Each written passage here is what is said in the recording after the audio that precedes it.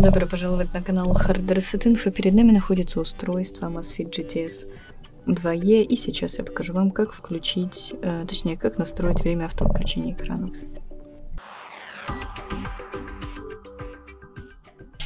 Итак, для этого мы э, открываем меню, нажимая на кнопочку. Далее ищем настройки.